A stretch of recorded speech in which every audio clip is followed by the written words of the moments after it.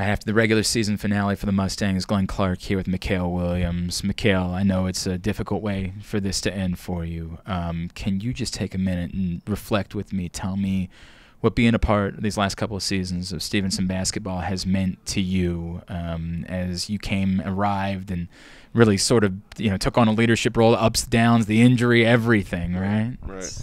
No, it's definitely been a roller coaster, but it's been a fun roller coaster. You know. Um, every day was a blessing, you know, because not everybody gets to experience this type of culture. You know, not everybody gets to play, you know, college basketball. So, um, you know, I was very thankful for every moment, even the you know the bad moments, the injuries. You know, it still taught me a lot of stuff. You know, so I'm just really blessed and thankful that you know these coaches, Stevenson coaches, you know, gave me the opportunity to to come play here and and you know be a part of something special and everything. It means a lot to me. So. It's awesome. McKale, is there any moment like I, I know it's been a few years for you here, right? And again, we talk about ups and downs and pandemics and you know things yeah. like that, right?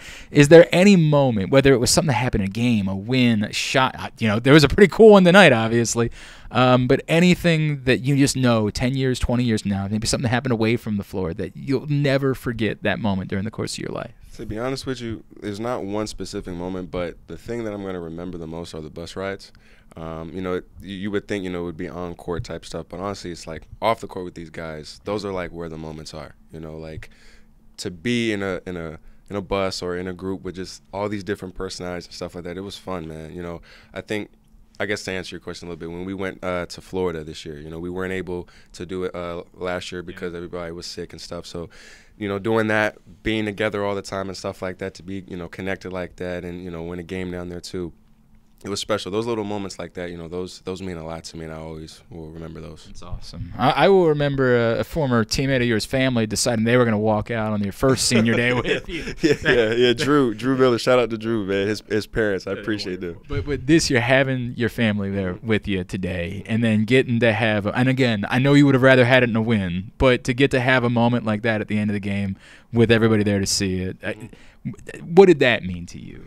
You know, it was special. You know, I I just want to make my family proud, really. You know, you know they came out and to watch me play to support me and stuff. So I want to, you know, give them a show and show that, you know, driving up here wasn't a waste and everything, you know. So I just I do it for my family. I, I do it because I love it and everything, and to to share that moment with my family. I actually looked at my mom and nodded at her and stuff like that. So that's something I always remember too. So it was great. That's cool, McKale.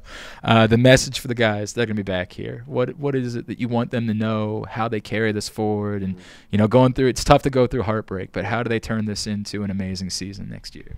You know, don't take anything for granted. Um, you know, take every day one day at a time. You know, cherish it. You know, because in a blink of eye, it's gonna you're gonna be a senior. You're gonna be like me, an old head, and you know you're gonna be graduated and done and stuff. So, you know. You know, accept, appreciate the highs, the lows, and just stay fully committed with it, and you'll be you'll be good to go for sure.